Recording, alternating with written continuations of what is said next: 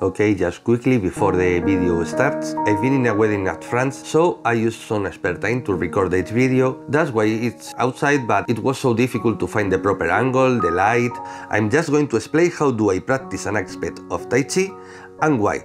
I'm not going to enter in who does it this way or who does it other way. I'm going to give you the reasons of why I do it this way. Sorry about my English, just hope you find it useful and it's safe to you in your daily practice. Hello and welcome to a new video of Todo Tai Chi.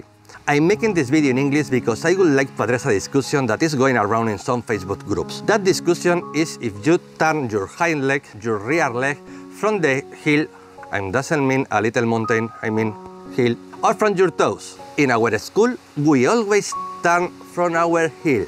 Why? Because this way you are rooted since the beginning.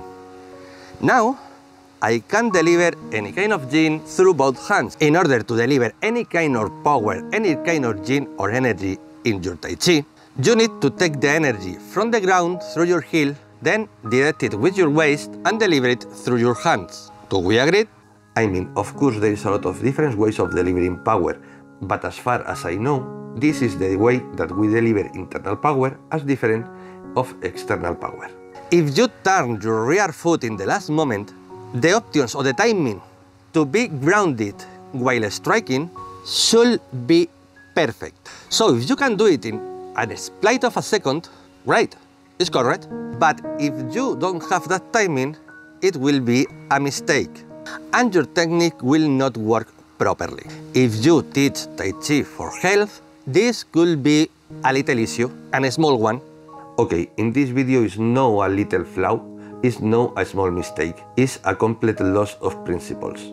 Is not distinguishing between full and empty. That's why the turn is not only from the toes, but also when the leg is still full. As the turn happens when the leg is not completely empty, the change of balance is not complete, and you can see it in the next movement. When she is going to step forward, comes with an imbalance. Then the risk of sleeping is there and my lessons are for senior people mainly. So a practice that gives you bad habits such as bad structure, bad balance are a no-no for me. But if you teach Tai Chi for health but also trying to explain the martial applications of the movements or go anywhere in the martial path, that is a flow. Now that we are talking about the feet, two more concepts that I would like that I would like to address. One, you never turn your yang leg. You always make it yin. If your tendons, your ligaments are supporting you, you can just turn them because you will stress them even more, risking an injury. So the first thing you do is empty your yang leg, turning it to yin, and then correct its position. The other thing that I see a lot is in the first, first gate of energy. Peng, Li, Ji, and people doesn't relax those muscles, these muscles, and their front foot rises and lowers as they change balance. That's a flow of relax in my opinion. Doesn't mean that is the only correct way, that's how we do it and why.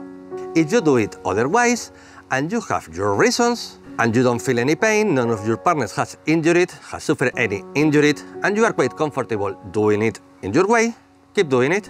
I hope you have enjoyed this video and see you in the next one.